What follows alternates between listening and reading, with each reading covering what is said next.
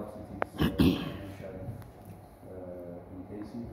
Also, like maintenance and support, we have visited uh, our call center in this here, but that's only we have a central. We don't have like regional call centers, regional help desks. So that's also uh, another challenge. We do have health information technicians uh, at your guys' Bido, but they reach uh, and and also like their capacity is not up to the up to